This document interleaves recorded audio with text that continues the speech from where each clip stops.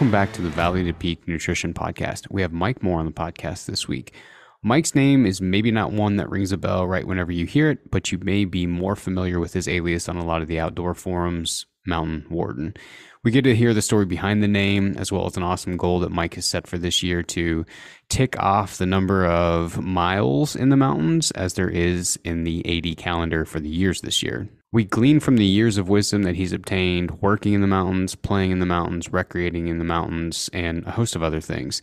This ranges from nutrition to training to gear reviews that he writes for Rokslide, as well as some precarious situations he's found himself in and how he dealt with them.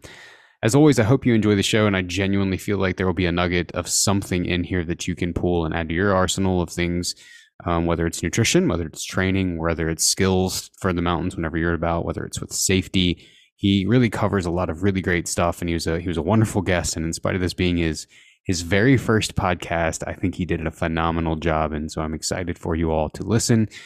As always, if there are episodes or topics that you want to hear about, I am always open to hearing what those are. You can send those over to info at v2pnutrition.com and we would be more than happy to cover those. So, without further ado, here are a few lessons from Mike for 2,023 miles in 2023. I've I've followed along with some of your um, posts and advice that you've given on Rokslide and some of the like post trip reports that you've done and thought, man, this guy seems really interesting and really knowledgeable. And then I like I started to dabble. You know, like I would just be researching something, and usually it was gear. If there's a particular gear that I was interested in, like I'd, I'd research it a little bit before I'd go out and buy it and I started seeing your name pop up on other I don't know if it's I don't know if it's user friendly database review sites or what it was, and I couldn't even tell you the name offhand. But your name would pop up on random forums for trail running, and um, I don't think I've seen you on Reddit, but maybe you're on Reddit. Anyway, I just thought he's really interesting, and so then I saw in your tagline uh, I recent you you did the gear review on Rokslide, which I'd love to talk a little bit about during this because everyone who listens to this, of course, likes gear to some degree. Uh, I saw that you were doing 2,023 miles in 2023. I thought, what a cool goal, and what a um, what a and what an adventurous goal because I mean you've got to be those aren't like miles where you think, ah, I'll just go out a couple times a week, rack up a few miles, and see where I end up. I mean, you got to be pretty intentional about logging miles to get the full 2000. And so, any everything with the podcast for me is really like I want people to be able to shut it off and feel like it was worth their time and they got something out of it that they can go use and apply. I don't have any interest in like just filling the airwaves with my voice. Like there's enough of those. so you're truly it's your your approach could be very scientific and it could be very basic and I think that both are extremely helpful because like in the world where we data things to death, some of the like some of the best simply go by feel. They don't use any data. And on the flip side of that, sometimes the data people love to nerd out about the data. So if you use a combination of both of those, that's um that's what we'll talk about. Good. So I think like whenever I um, whenever we record it and I release it, I'll do just a little introduction to kind of say you know who you are, but I will fail to some degree. So I would love just to start by having you introduce yourself. And we talked a little bit about this whenever we set this up. I said, "How'd you get interested in the mountains? Because you weren't you're not originally from Montana." Well, let's see. I currently live in Helena, which is central Montana, with my wife. 41 years. Have two children two grandchildren. I was raised in New York State, upstate New York. I just had this dream of becoming, you know, a game warden in the West, and I uh, pursued that dream. I started out in a little community college in northwestern Montana, or excuse me, northwestern Wyoming, taking wildlife biology. Met a gentleman there. We, we became friends, and when I was uh, down there, he invited me to Northwest Montana to get a job working in the woods. I said, I don't know nothing about it, but you know, I'm game. And so I was introduced to the logging business and uh, ended up pursuing that for three or four years, kind of off and on, going to school in Missoula and working. That's where I met my wife was up in the little town of Eureka. Turned out that it was the boss's daughter that I ended up marrying. So, so did you did you grow up in, in New York? Like, did your did your folks or or grandparent introduce you to some of the eastern mountains, and that's sort of how you had this interest in it, or did you did that naturally come and you wanted to go west? Yeah, even as a kid, you know, I just spent a lot of time outdoors. Um, you know, hiking. My dad had a had a place that, you know, by New York standards was fairly big. It was like 120 acres, and then it was you know, we'd explore that. I'd hunt it, camp out in the winter in it, stuff like that. So I've always been interested in the outdoors and stuff. I did fairly young age. I mean, I just had this drive to be a game warden, and kind of specifically, um, you know, somewhere in the western, just kept plugging away. And uh, uh, my college degree, I mean, I started mid '70s. I didn't graduate until late '80. Shortly after that, fortunately, they had a fairly large hiring in Montana, and I was lucky enough to get hired. So so I've never I've never actually had the pleasure of sitting down with a game warden and I think I would I would regret not asking this. And I'm sure that this is like I'm sure there are countless of these, but any or the wildest story that you can remember from being a game warden that stands out in your mind to this day? Oh, okay. There's probably a lot, a lot of them. Yeah, there's there? there's a few. Um, we uh, I got in uh, when I started, just starting wildlife decoys. Uh, my sergeant at the time was really interested in it, and he put together a decoy that uh, was on a uh, two-legged archery target, shooting a deer and saving the hide, tanned it himself, sewed it up. It looked like hell. We stuck some antlers on it. That thing got shot a lot. Just surprisingly that something that looked like that, but it was fairly new. Eventually, we went into robotics, and I mean, stuff eyes that would glow in the dark. One evening, working this area south of Miles City, where we had a lot of spotlighting along the Tongue River, midnight, one o'clock, the fellow that I was with, uh, we both I mean, we both just fell asleep. We'd been patrolling most of the day and then most of the night, and we just fell asleep. And uh, we were woken to a loud center fire rifle shot that was, you know, just 40 yards from us you know, on the opposite side of the road where we had that decoy. And I mean, we both hit our heads on top of the truck, looked at each other, you know, because it was like a moment of like, where the hell am I? And, you know, anyways, we were able to take care of business and stuff. And, uh, but uh, that that's one of several I remember. yeah, the decoys. I know, like um, growing up from the growing up in the Midwest, where there's obviously just whitetail, probably as many whitetails as there is people in some parts. That was a big that was a big thing that you know wardens would use would be setting up the decoys and busting people for the illegal take of game. But I can only imagine some of the stories that um, some of the stories that you've got. One of the things, and I I said this in the introduction, that I was fascinated by after sort of inadvertently following along with all of your stuff online and on Rokslide was I saw in your tagline you had this goal of 2023 miles in 2023, which is one of the reasons I wanted to have you on just to talk about that. Can you describe a little bit about what you've got planned and how you came up with that as as the actual objective for the year? Sure. Um, I'm not a runner anymore, but I was a runner. I started running late in mid 50s.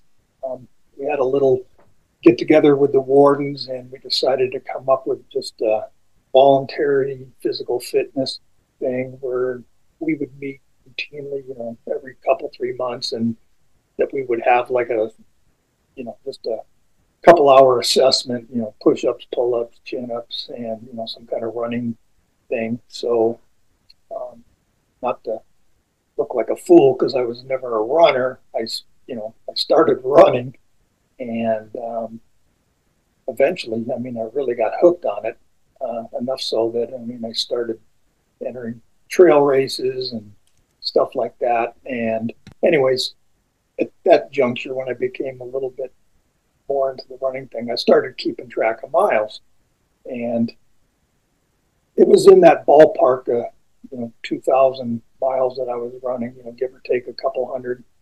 And, anyways, four or five years ago, I've kind of switched to hiking instead of running. It, and my miles were in that same ballpark, just takes longer. And, um, anyways, when I looked at one of my years, it was, you know, just shy of, you know, whatever the year was. And so the next year, so this would have been maybe just two or three years ago, I said, that's going to be my goal 2021 miles, you know, for that year. So the last couple years I've made it. Knock on wood, I'm still on schedule for this year. So, so do you have a like? Do you have a particular, you know, going into the year? And I, I'm, I will, I will preface this by saying that I'm guilty of overthinking. So if that falls in this category, feel free to tell me. do you have a way that you're breaking this up? I mean, are you trying to chip away at a specific number of miles per week or do you just think you know all right i'm going to go out today i'm going to hike i'm going to see how far i can get and just accumulate miles? Or are you really you know taking like a weekend and piling up a ton of miles but not really doing it during the week? Because that you know eh, like we were talking about before we started recording you could get a couple hundred miles really without trying right? I mean you could go out and just kind of intentionally just intentionally plan to be out four or five days a week and probably get close to a couple hundred miles within the course of a year. 2000 is a different deal. so it makes me wonder, you know, how, how, are you how are you breaking that down um, to to make sure that you get that point?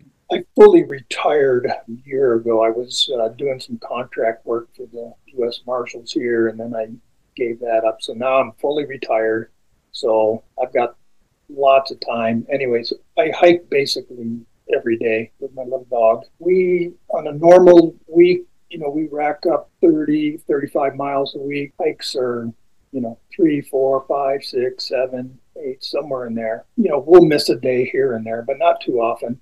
And then I've always got things planned in the year, you know, trips, you know, like that one we were talking about earlier in Arizona. Those trips, you know, you end up racking up some bigger miles 80 in a week, 100 in a week. And between the steady eddy, you know, 30, 35 miles a week, and then these trips sprinkled in, um, it usually puts me in that ballpark. And, you know, frankly, if it starts to get towards the end of the year and I mean, I need 42 miles, I mean, uh, it's just my nature. I mean, somehow I'm going to going to go ahead and do it and get them. So this may even have you reach back as deep as like when you first started running in your mid 50s. But what do you feel like's been the greatest lesson in having a pretty audacious goal and trying to achieve it because i'm sure like now you might be in such a good rhythm that no issue really comes up you don't you don't really have new challenges but i can imagine a guy going from you know pretty standard act- activity to none to all of a sudden basically committing to taking on 2,000 miles in a year and becoming a runner was at, at, the very least pretty mentally and I would imagine somewhat physically challenging when you first started. Do you remember anything from that? Any lessons from that or things that you did to sort of push through that? Are you familiar with uh, Michael Easter, his work? Anyways, you know, he, Comfort Crisis. He wrote an entire book about, you know, challenging yourself, getting out of your comfort zone.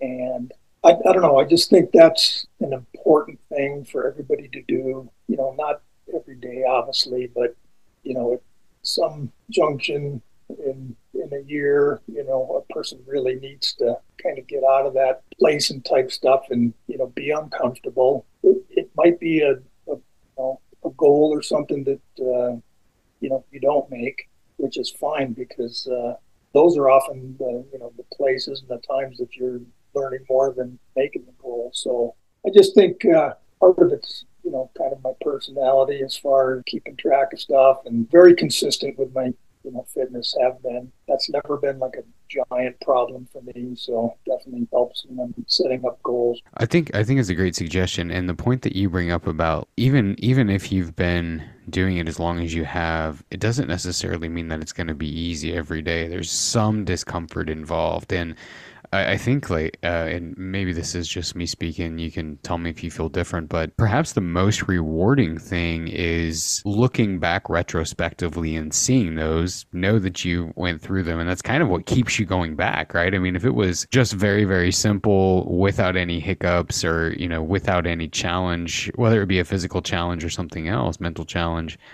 it's not quite as rewarding. And so I like the fact that you bring up just because it may be routine doesn't mean that it's always easy. And that's really the reward. And, and from an overall, like just the way that you view life perspective, it's very likely, and we see this a lot. Um, I see, I see this a lot with the, the folks that come through Valley to Peak. It's like if, if they all of a sudden start paying attention to the details of their nutrition, that's very likely to bleed over into other areas in their life and um, this i think that that's that's to do with the development of habits and nothing to do with me obviously.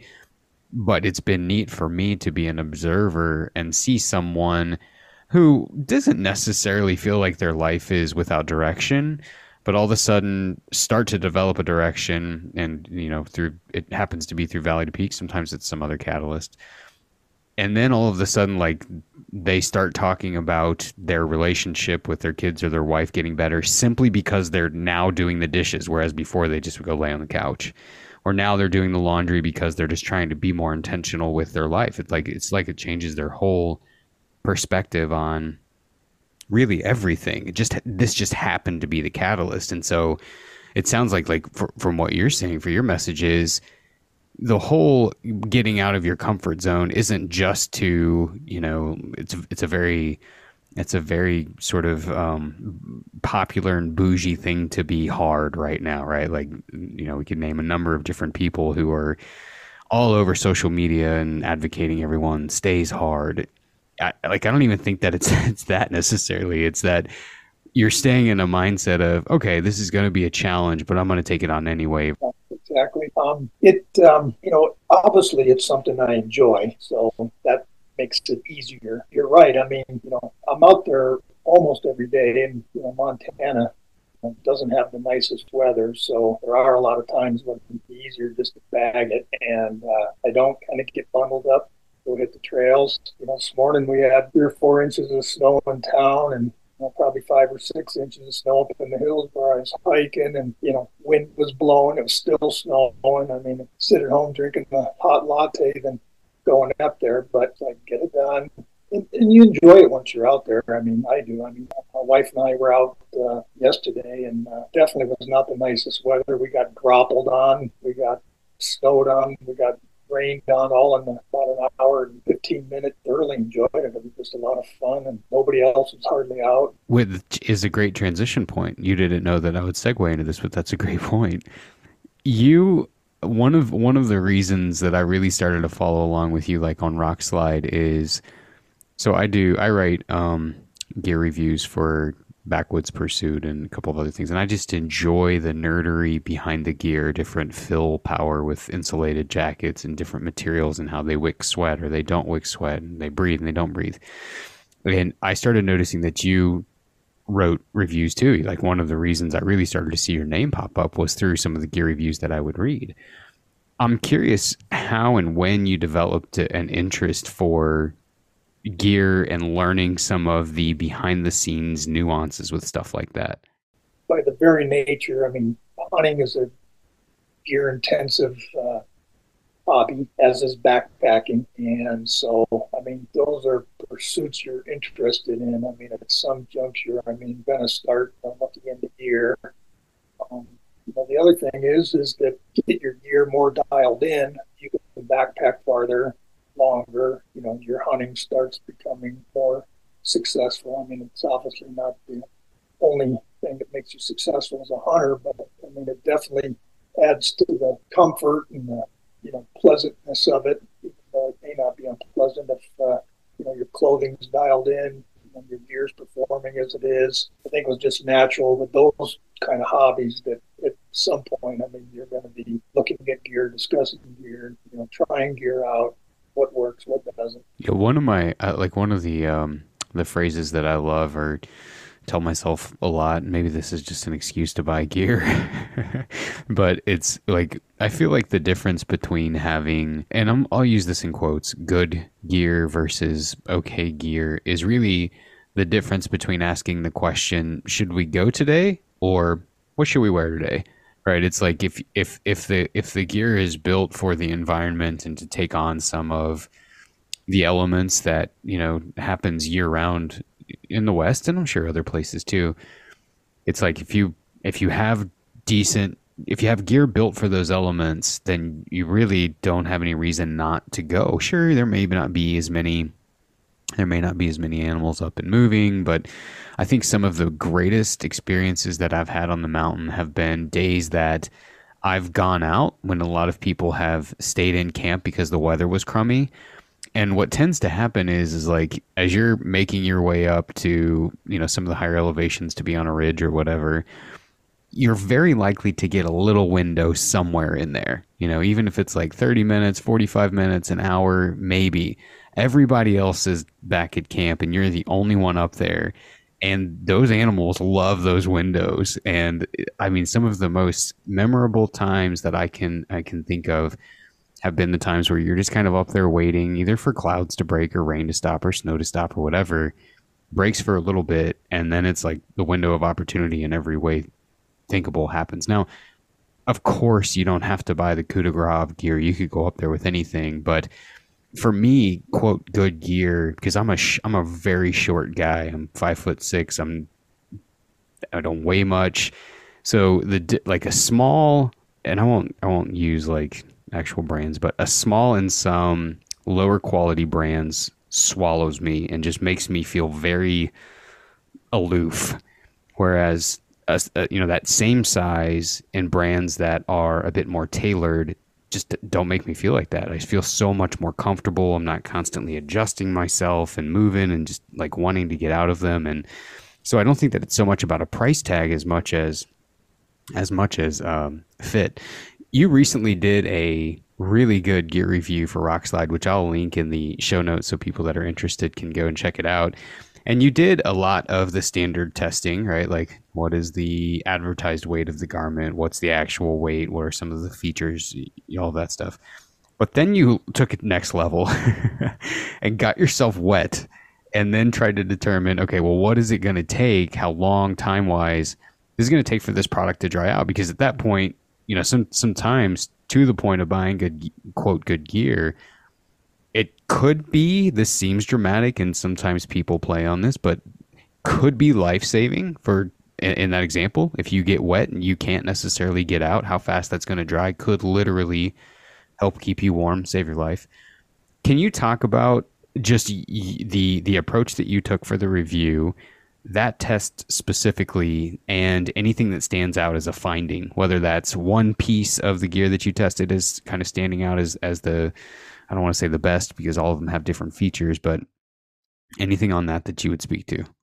I decided uh, kind of you know, like halfway through, this was a long review because I had, I think I had five different pieces, and one of them I got pretty late in the game after hunting season. At some point, it kind of just hit me that to do that wet base layer test. That came from an incident last winter when a buddy of mine got the great idea of uh, snowshoeing across the Bob Marshall Wilderness on a 100 mile endeavor and probably never to be repeated. One of those days, mid trip, I got swept by a creek, wet, literally, you know, I think everything but my hat was completely soaked. I think uh, it might have been Sitka Gear, might have been somebody else, but uh, they posted up some information that some of the special forces um, folks were doing where you know if you found yourself in this situation the normal you know idea was you know stop you know get a fire going that's not a bad idea that can work but you know for special forces guys i mean that might not be an option if they're you know, behind enemy lines but anyways they said if uh, if you find yourself in a situation like that bring your clothing out best as you can. You know, get a layer, a warm layer over the top of that, and basically hike your butt off. And that's what I did. My buddy was ahead of me by, you know, he was probably a couple miles ahead of me, so he had no idea I got swept. And so I put a mid layer on and just started uh, hiking real hard. And lo and behold, I mean, after, you know, it was probably an hour and a half. I mean, I could feel myself, that base layer, you know, starting to get drier. And eventually it was fully dry. Uh, we ended up ended up catching up with them. We started a fire, and my pants needed still a little drying and stuff. But anyways, from that experience, I figured it would be kind of fun with those different mid layers to take the same base layer, get it soaking wet, bring it out just a little bit, weigh it, you know, so it was the same, you know, weight every time. I would drive to the trailhead. I had a four mile loop that I used same loop pretty close. I could keep that pace within, you know, just a couple minutes of each other. And what I would do is don that wet, terribly wet, cold thing. You know, it was 32 degrees is what I decided on the temperature, and it had to be within a degree or two of that, or I, you know, I'd wait another day to do that test, and then I'd just start hiking my butt off. And when I was done, I'd uh, I'd weigh both the the mid layer, the outer garment, to see you know if it absorbed water, how much, and then weigh that base layer, and you know how much water had been removed from that and then between the two, I could tell how much total moisture was removed by both garments. You know, totally. Ex- you know, the best case scenario is when you're done that the mid layer didn't have any water in the base layer, but we're talking maybe an hour and 15 minutes. And actually, with enough time, I mean, I'm convinced that you know within two two and a half hours, I mean, all those garments would have been everything would have been bone dry. That's that's how I kind of got the idea for the test. You know, from the real life experience and thought it would be interesting. Was there uh, of the five pieces you tested? Were there any real standouts in your mind? Um, you know, the one that I guess surprised me most was the OR piece I did. It was uh, basically a traditional grid fleece, not super heavy, not not real light either, um, but you know, kind of a mid-weight grid fleece. Easily the most breathable garment that there was. And sometimes you kind of equate, you know, something being breathable is going to be drying faster. That thing, you know, it, it did pretty good, but it, it didn't dry as well as the other. And I think part of that it was is that it was wet. The, the garment, you know, was directly against my base layer and it was wet. I started getting frost up my arms and stuff. And and you know I tried to keep the wind you know the same, and it seemed like there was always a little bit of breeze on all the each of those tests. And I mean, you know, just the slightest breeze. I mean, you know, just you know, it hurt. Anyways, so here's the most breathable garment out there, but it didn't dry out very well. Part of it, I think, was fit, but I think part of it too, just because it was so breathable, you know, it wasn't letting my, you know, core kind of heat things up or a little heavier garment, you know, I'm going to get that heat factor going and start, you know, that's what's going to drive that moisture out is your body heat. So, anyways, that kind of surprised me. I thought it would do pretty well, and it and it did decently. I mean, I'm not saying it did bad.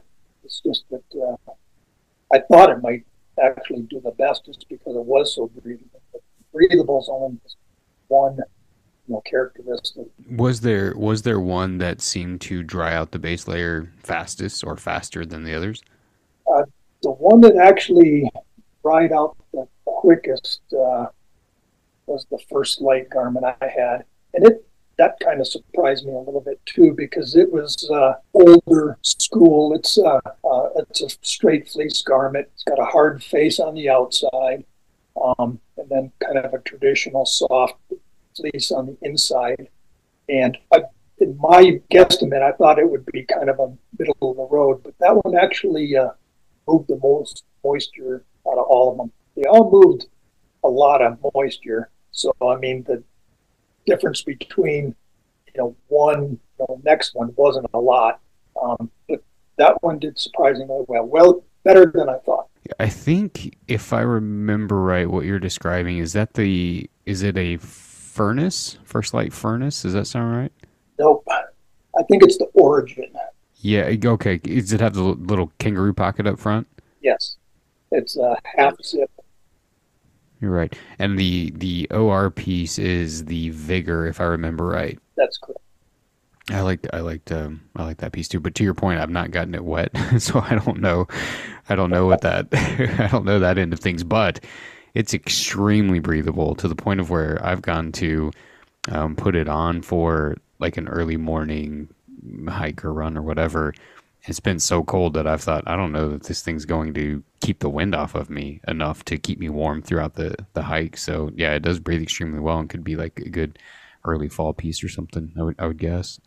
Yeah, and I mean, uh, even on these little daily hikes, I carry a little have a little uh, lightweight wind shirt that I throw in because that's me kind of the great equalizer. I mean, things get thrown that light wind layer over the top of whatever I'm wearing, I mean, it just adds enough warmth and you know, and it sheds a little light moisture and it definitely you know, knocks the wind out. So, anyways, that's a little five day trip or you know just for an hour and a half out on my daily hike. I mean, one of those go with me. I'll get a ton of emails if you don't tell people what which one you use. You know, honestly, I use uh, I use several. I've got uh, I've got a Patagonia Houdini that I've had for a long time. It's probably you know, the lightest one out there, or close to it. So light, it's not quite as durable.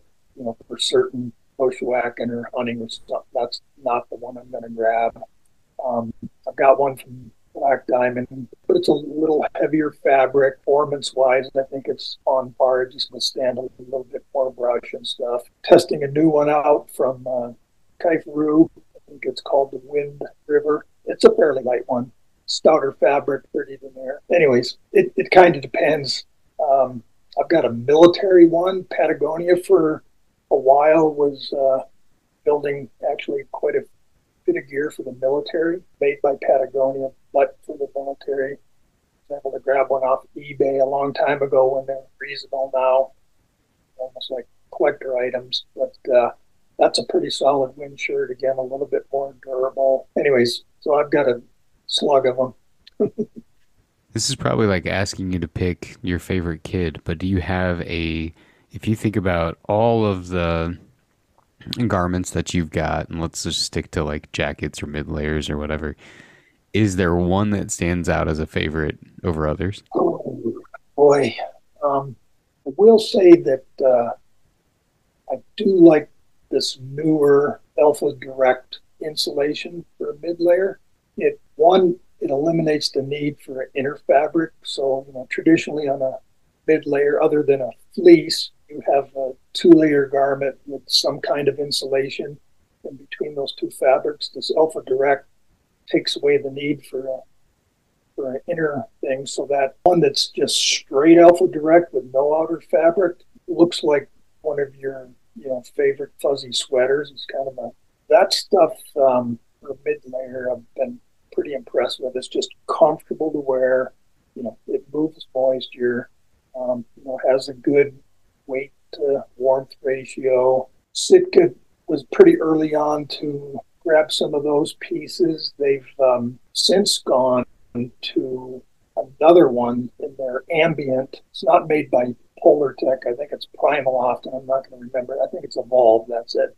And anyways, comparing them side by side under their microscope, I'm, I'm sure there could be or is differences, but they look very similar. They feel the same. To me, they form the same. Anyways, garments with either of those um, have been pretty impressive. I like them.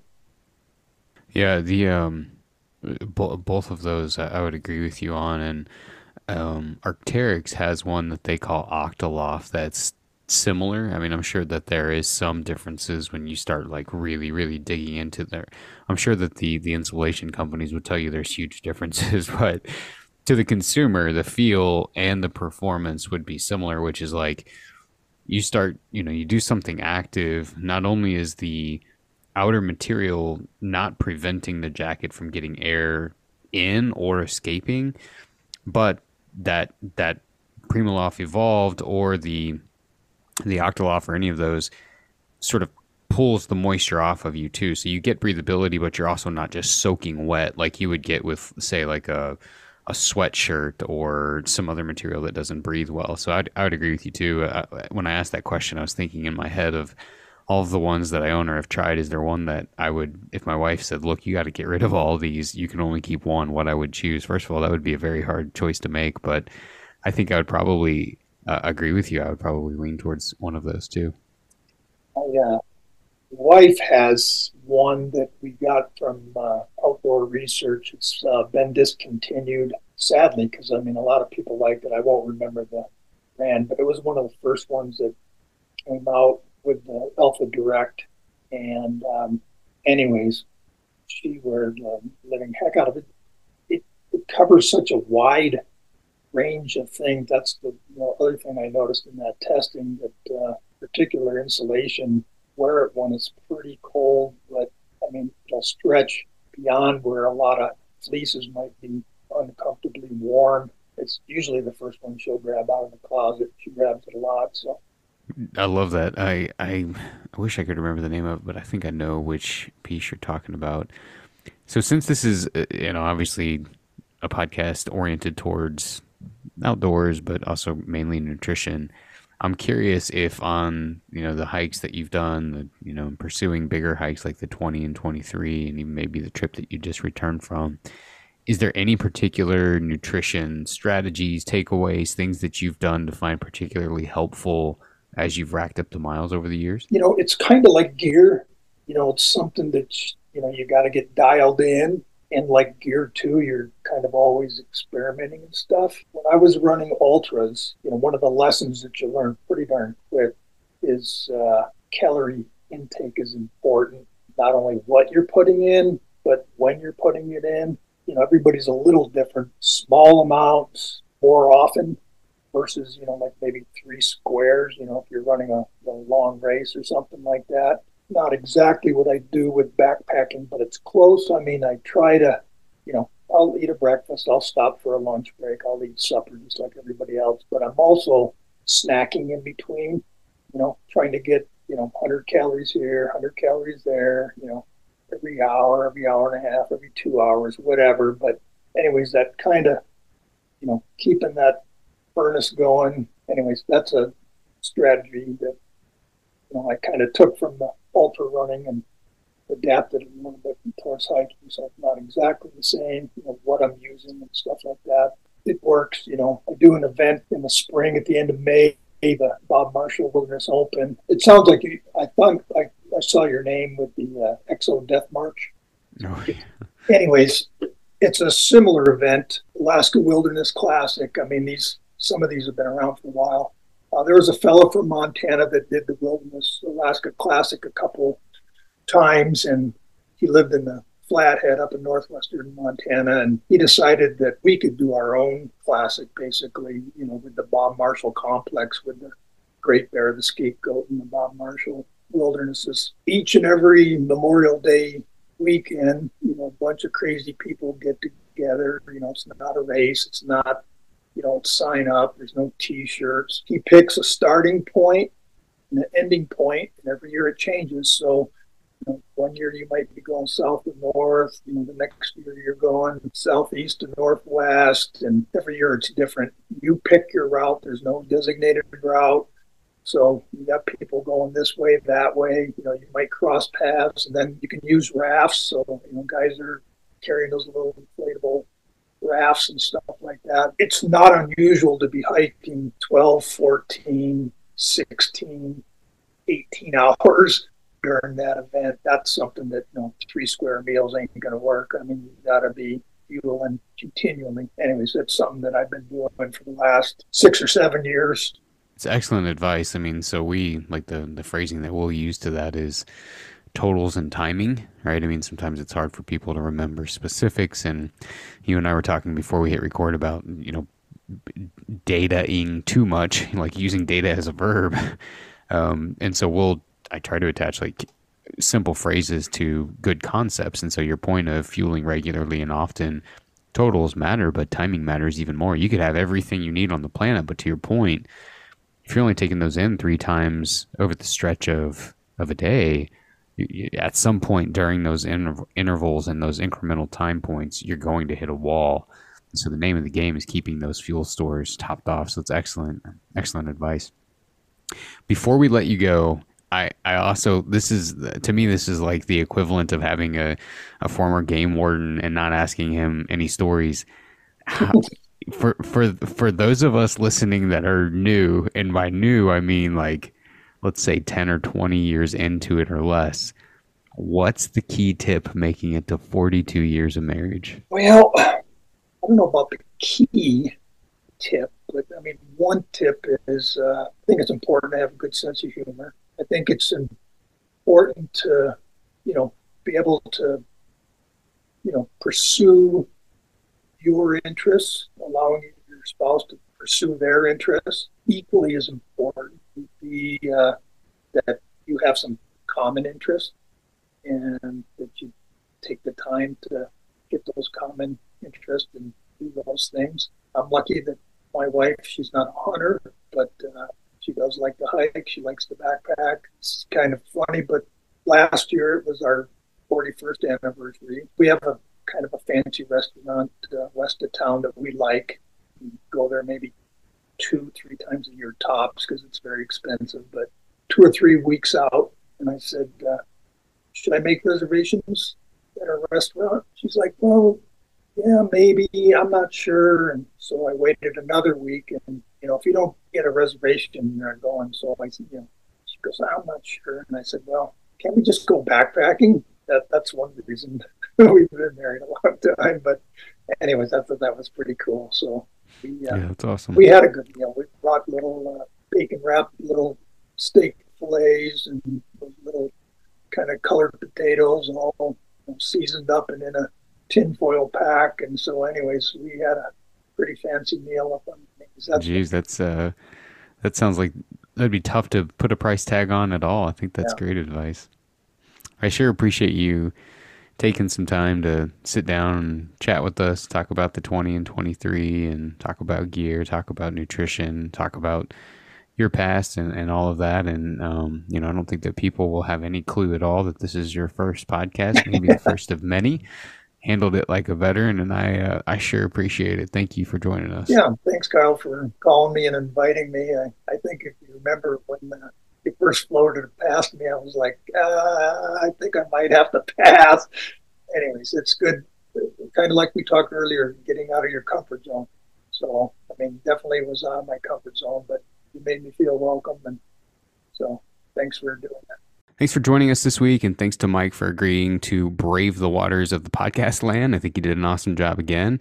I will link everything that we talked about in the show notes uh, for the episode.